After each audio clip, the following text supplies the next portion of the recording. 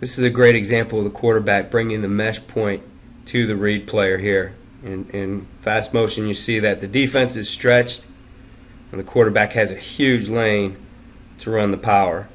So we'll go back and watch this slow mo right here. And here's the key to it.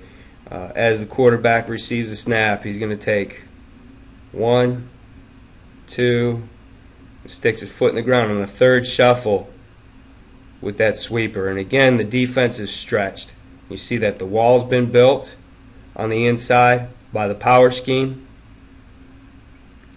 The read defender is stretching now and, and really has to make a decision pretty quickly on his part as the mesh comes to him on what to do. And you also see now that this linebacker is left in space. So he really needs to make a decision on is he going to scrape and chase the sweep right here? Is he going to play downhill? And really, in either case, um, there's a lot of space here for the defense to defend.